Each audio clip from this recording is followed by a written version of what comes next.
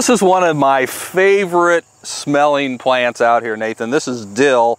I just love the way that the dill smells. Now, many people are familiar with dill from, you know, you may have a little plot in your garden to make dill pickles, and it's no coincidence that it's growing right next to our strip of cucurbits. So we're hoping that dill pickles maybe just emerge from the two growing together here. Uh, but dill is one of those things that we don't use extensively in a lot of cover crop mixes. We're kind of experimenting with it. It's, you know, it's relatively expensive seed. Uh, so we're putting it like in our showy flower mix, our warm season pollinator mixes, our milpa mixes.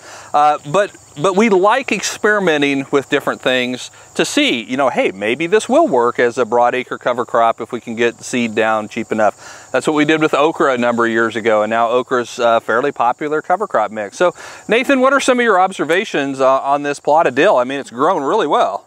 Yeah, so the dill has grown really well all through our Nebraska heat here. Um, you know, we're, we're up to like kind of mid-chest high. It is sort of starting to fall fall over here. We had some storms roll through, but um, otherwise it's grown really well. Um, it's interesting the types of insects that are frequenting the dill in this test plot. It's, it's not attracting kind of your normal pollinators. There haven't been a lot of bees on it necessarily, uh, or even the butterflies, but smaller insects, maybe some ladybugs, have tended to frequent the dill a little bit more. It's an extremely interesting plant just structurally. The leaves are this really kind of viney, like it doesn't have big broad leaves, it's mm -hmm. just mm-hmm. kind of these weird stems.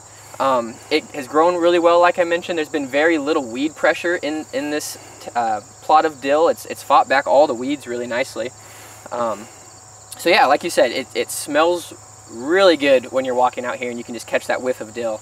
Uh, and yeah, we're definitely still kind of seeing, you know, are there grazing benefits or, or what necessarily will it, is it doing to our soils? Uh, just trialing those things and seeing what sort of fits dill could have um, in the cover crop industry yeah. in the future.